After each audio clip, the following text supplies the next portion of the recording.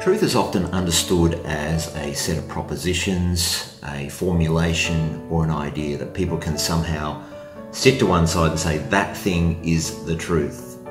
But there's got to be more to it than that, more to it than a set of propositions that someone can objectively sort of quantify. Truth, as it is presented in the scripture, is about a person, the person of God. And a person who comes into the truth is someone who engages God and enters into that truth through an intimate relationship with God through Jesus Christ. This relationship is consequently empowered and enabled by the Holy Spirit. So we can see that to enter into truth or our understanding of the truth, it necessarily involves uh, an engagement with the Holy Spirit and an empowering of the Holy Spirit.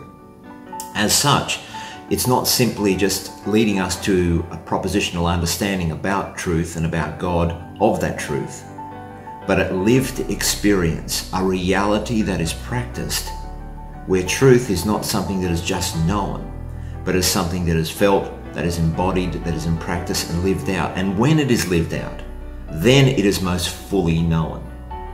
So the truth then is not something that you simply write down uh, in a, on a piece of paper. It's something that you can, yes, acknowledge intellectually, but something that you must also practice and live out to fully appreciate its gravity and its meaning. If you're interested in understanding the truth, you're a Christian who's seriously interested in it, then my new book, Spirit and Truth, is possibly something you should read.